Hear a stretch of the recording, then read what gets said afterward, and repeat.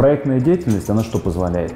А, это вот по сути, всю работу нашу упаковать грамотно для того, чтобы ее показать. Если мы говорим непосредственно о грантах, о донорах, кто эти гранты э, представляет, допустим, э, там, тот же фонд президентских грантов, то почему бы не научить, собственно, наших, э, моих коллег да, правильно делать заявки для того, чтобы, опять-таки, в результате максимально качественно преподносить то есть, свои проекты и достигать своих результатов. Все целевая аудитория, с кем работает некоммерческий сектор, они по-своему, ну не то что сложно, а своеобразны. И к ним нужно находить подходы, да, при помощи, опять-таки, того, чтобы наша деятельность как некоммерческая организация была им интересна, и чтобы человек получал какую-то пользу. Те знания, которые мы здесь получили а, за эти два дня, а, они позволяют переосмыслить, во-первых, свою деятельность, а потом а, самое важное, да, ты хорош не когда ты знаешь, когда что-то умеешь,